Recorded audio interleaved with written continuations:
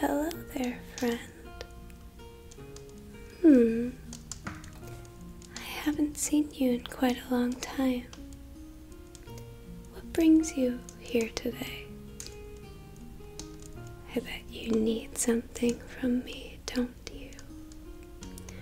Oh, you humans are all the same. Always bending to your own will and that of no one else's. No matter. I enjoy nothing more than to be of service to you. So, tell me, what seems to be the trouble today? Hmm? How may I assist you with your human needs, wishes, desires? Do tell. I'm all ears.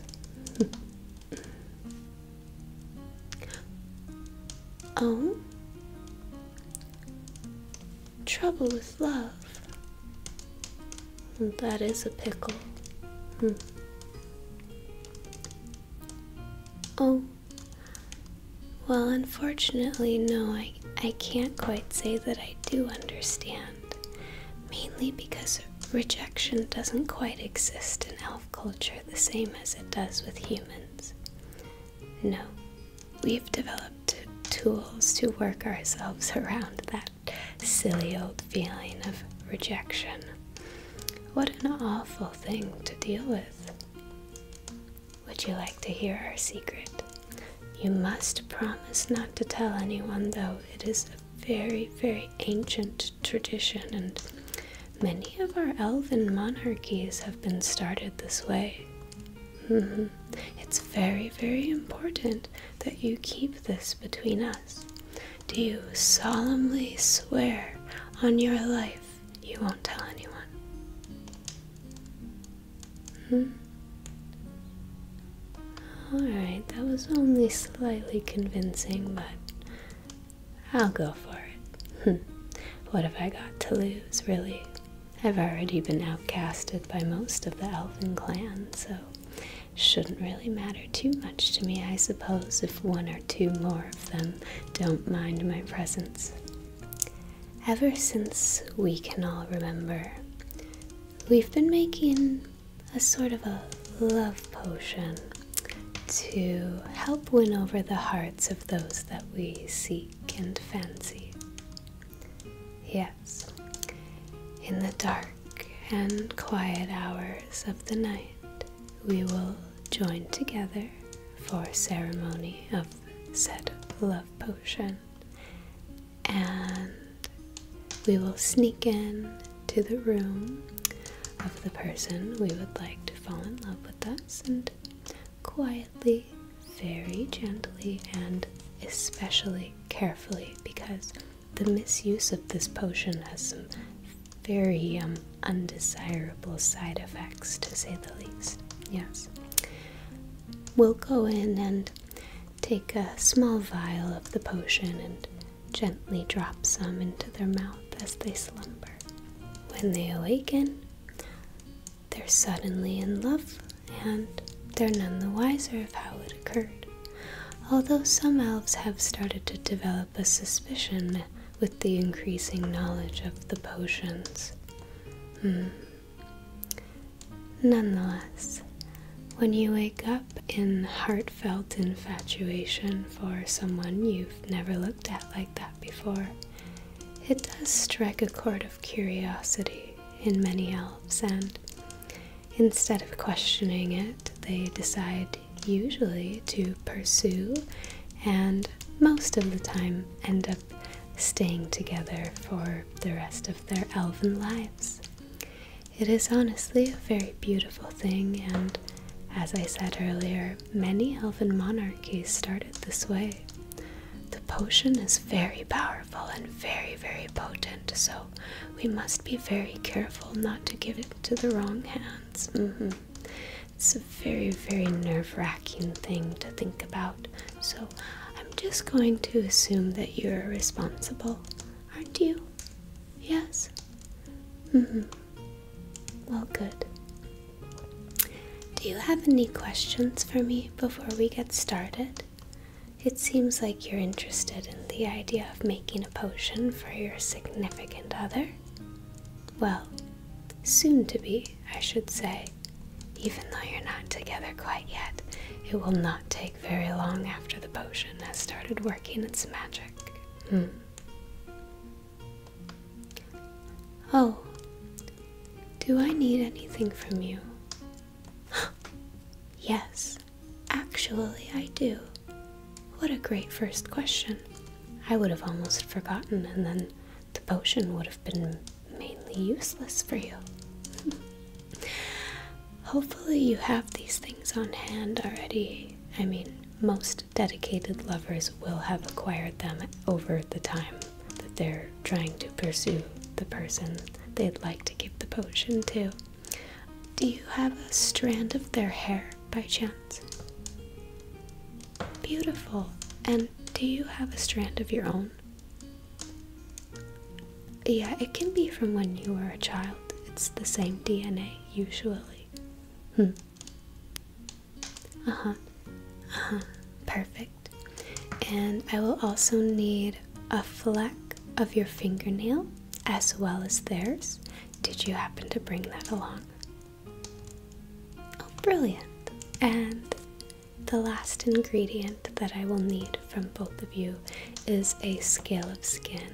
This is usually the hardest to acquire because a scale is quite a small thing, and well, if you have more than one, it will ruin the potion. So, we only need one singular scale from both of you. Did you bring that? Wow. I will say I am impressed by your preparedness. Oh, certainly. Most humans don't come with much but an untied shoelace, so hmm, this is quite a pleasant surprise. Um, we'll go ahead and collect those items from your belongings, and when you're ready, you can place them into my hands.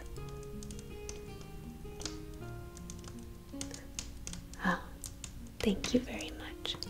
I'm just going to sprinkle these into my mortar and pestle back here. Okay, just making sure that they're in our mix for later when we put all of the other ingredients in.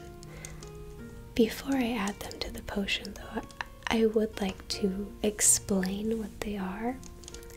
I think it's particularly fascinating if you're willing to learn a little bit about the elven magic. Oh, how delightful. Hmm, what should we start with? Of course, one of my most prized possessions. This vessel contains some pre-packaged doses of a variety of herbs and spices that I've gathered from all over the realm, really. Yes, it has been my sheer pleasure to be able to collect them and create different varieties of blends for different potion purposes, of course. Hmm. This one has a lot of different natural flowers and other plant varieties. It smells wonderful. Would you like to smell? Sure, take a whiff. Isn't it delightful? Hmm. I will be setting a bag of this aside. And. Hmm. Hmm. Huh? Oh, what is this one? It's actually a bit of a funny story. This is a jar of pickled peppers, which doesn't really have much to do with our potion making, but this is a peck of pickled peppers that Peter Piper picked for me, actually. He's such a nice young lad, that Peter. So thoughtful, always giving me pecks of pickled peppers. Hmm.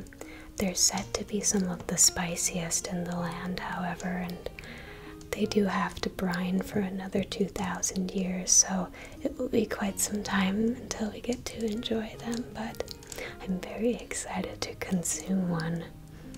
Hmm. Yes. He's quite the craftsman. Hmm. I do very much enjoy his packaging, and I hope to receive more vessels from him in the future because I do. I do feel like they make a nice addition in my collection. I love glass vessels. In fact, most of these were made by one artisan who I'm not friends with anymore, but I hold them near and dear because of that. The sentiment still stands. Hmm. Good friends come and go, but their memories remain with us forever. It's a very special thing to have a friend. Anyway, this, as I'm sure you can tell by the sheer looks of it, is, of course, a jar of fairy dust, although it's a very coveted jar of fairy dust that I had to work very, very hard to acquire. Hmm. The reason being is it's dust from the turn of the millennium, and not many fairies were producing dust during that time, partially because they were all partying, but um, I don't know if you can tell that there's two different hues of dust in here. The orange yellow dust is from the fairies of the east. They have a much different diet than, per se, the fairies of the west, the ones who make the cleaner pink and white dust.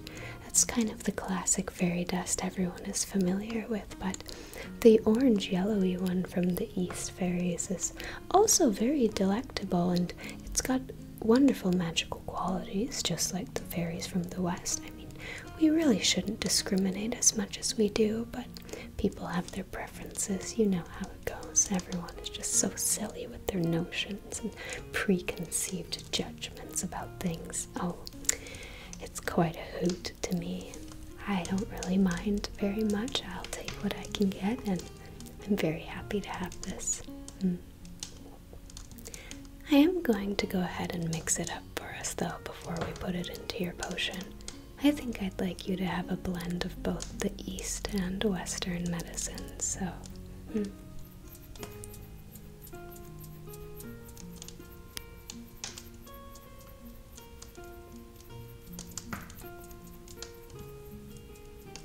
Yes.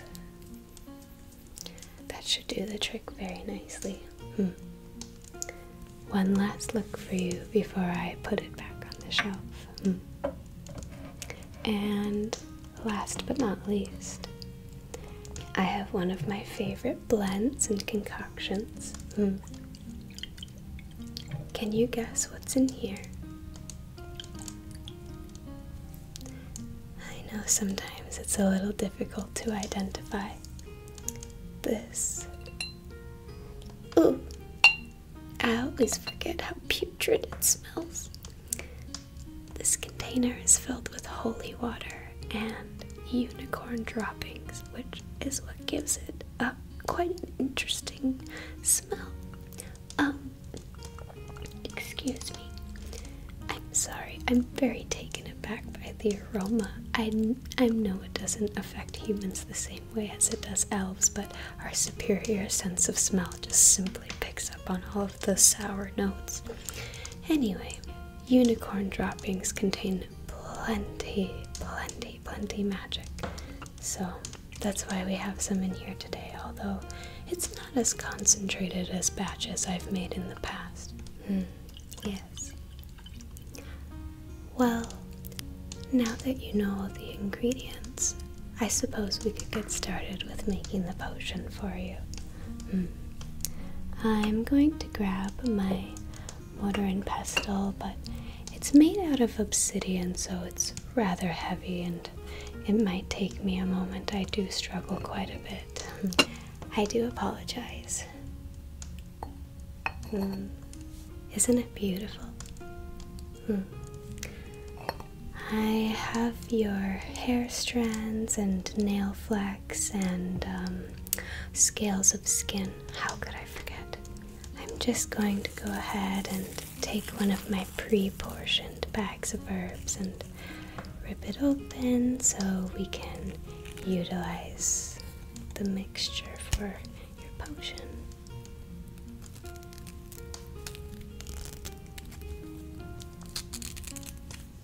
Beautiful. Just going to go ahead and pour it in.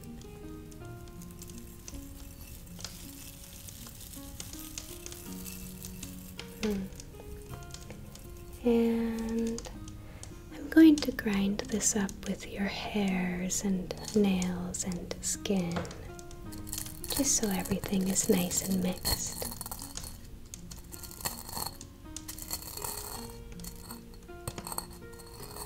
Hmm. Yes, that will do nicely.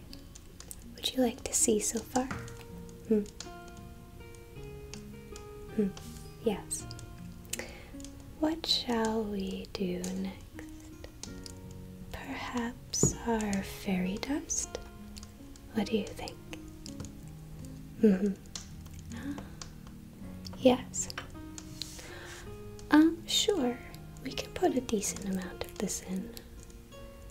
Oh, yes, I did mention that it contains a potent amount of magic, but the potion itself does have a lot as well, so, um, whatever you'd like. In goes the fairy dust.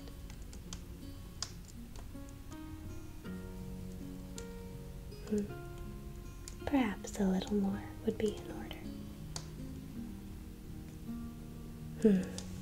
The fairy dust smells much better than the unicorn droppings, that's for sure. Gonna just put this back on the shelf. I like keep my workshop pretty tidy when I'm making potions and spells and things. Hmm. Cleanliness is close to godliness, that's what they say used to sell.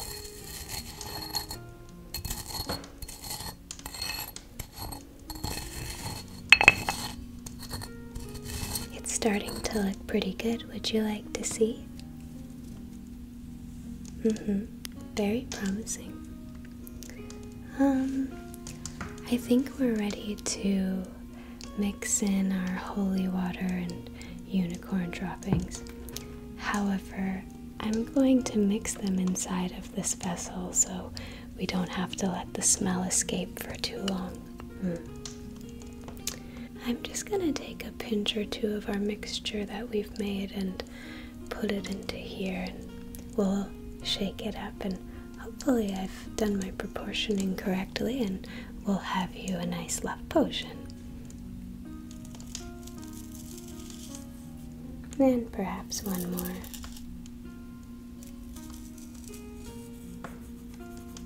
Beautiful.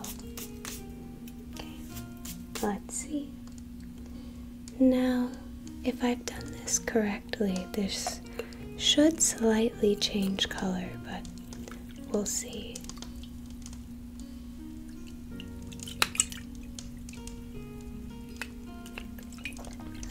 Not quite sure what color it's supposed to turn. I just know it's not supposed to be clear anymore.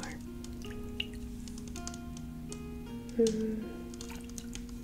Maybe I need a couple more pinches. Let's see.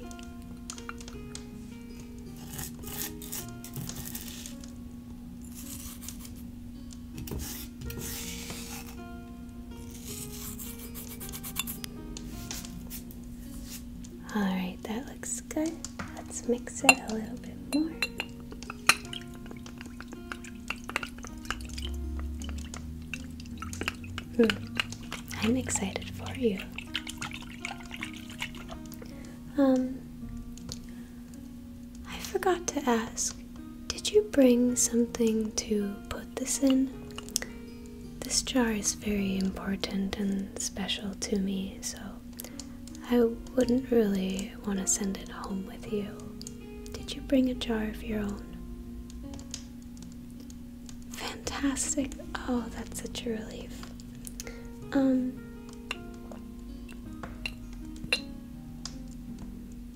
mm, smells so much better now that everything's been mixed.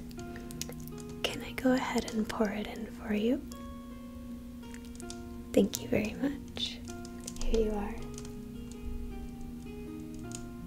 Make sure you take all of it. Of course, you're welcome. Hmm. I'll go ahead and wash this out later. Oh, well, yeah, it's been a pleasure to help you. Hmm. Is there anything that you wanted to discuss before you go? Oh, well, that's very sweet of you.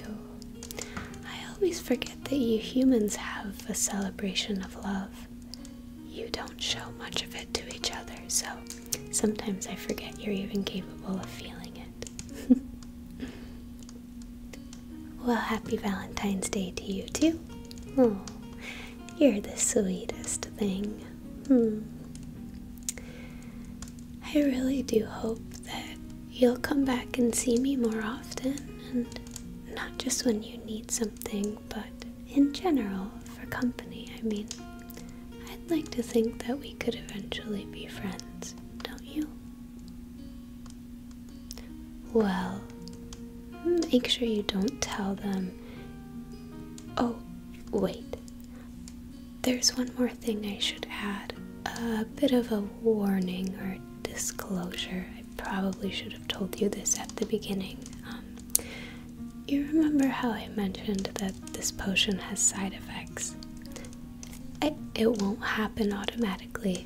However, if you do decide to admit to the person that you gave the love potion that you did indeed give them a love potion, it will immediately activate the consequential side effects, which will result in you, the giver of the potion, convulsing uncontrollably and eventually um, dying. So, I would recommend keeping it a secret if you can.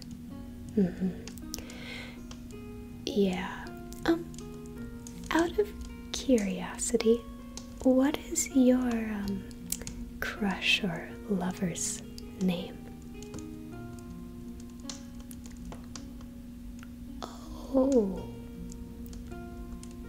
Um, very interesting. Hmm. No, it's it's nothing. I um I think that they were here recently, however. They were looking for a repellent spell to be done. Mm-hmm. What is a repellent spell? Um, it's basically a spell that helps to keep someone away from you at all costs for the rest of eternity, but I'm sure that they didn't come to make that to use on you. No. I, I wouldn't think that that would be the case. Um, a love potion will not counteract a repellent spell, so if you do find this to be ineffective, um, perhaps they've already snuck into your room in the middle of the night and dosed you with the repellent spell. But I really don't think that that is a, a plausible reality, so you, you mustn't worry, okay? I'm sure you'll be fine. And things are going to go so smoothly. Yes, so just make sure that you wait until the um, the dark hours of the night. It's it's getting late. I've been watching the sun slowly set as we've been doing this, so the timing is almost correct for you to sneak into their room and drop a few drops of the potion into their slumbering mouth. And when they wake up, you two should be happily ever after living in your love story. Hopefully. Hmm, Well, that's all the advice I can really offer. I mean, I'm not a professional counselor or anything. I'm just a potion maker and a spellbinder, but certainly not a therapist. So, you're gonna have to go see another specialist for that. oh, I do so appreciate you stopping by, though. It's been a pleasure to be with you and have you in my company. Again, please come by more often and not just when you need something, okay? mm.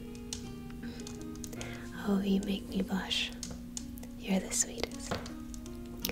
Well, um, toodaloo, and be sure to let me know how it goes, okay? Oh, yes, of course, I can teleport you back to where you came from. Um, I'm sorry for zapping you here unannounced, but you were calling out to me pretty strongly, so I figured I would answer and see what was going on with you. Hmm. Alright, are you ready to return?